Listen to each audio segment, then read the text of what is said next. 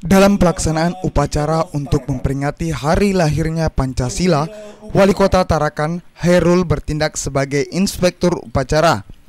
Dalam menyampaikan pidato kenegaraan dari Kepala Badan Pembinaan Pancasila, Herul menyampaikan bahwa Pancasila diambil dari akar budaya Indonesia yang kemudian dibentuk menjadi butir-butir Pancasila.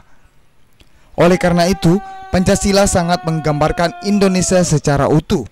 Ditemui usai kegiatan, Wali Kota Tarakan, Herul menjelaskan, kegiatan upacara ini bertujuan untuk meningkatkan rasa nasionalisme dan menunjukkan bahwa ideologi Pancasila dapat menyatukan Indonesia yang memiliki keberagaman suku, ras, dan agama.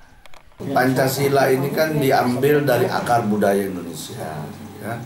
Jadi diambil dari akar budaya Indonesia diramu dalam butir-butir uh, Pancasila tadi yang lima itu. Disaring.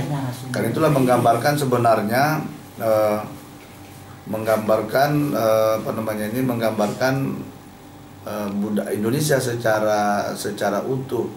Uh, Indonesia secara utuh ini tadi kan keberagaman ya.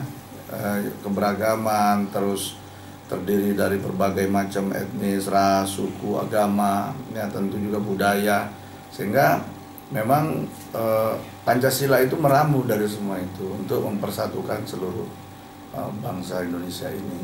Jadi maknanya itu tadi jadi kita Indonesia kita Pancasila. Jadi kalau kita mengamalkan Pancasila, otomatis kita ini mencerminkan orang Indonesia.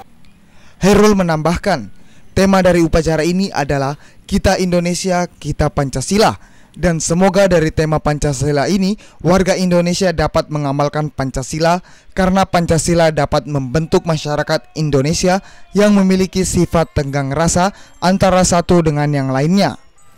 Riko Aldianto, Osarade, TVku.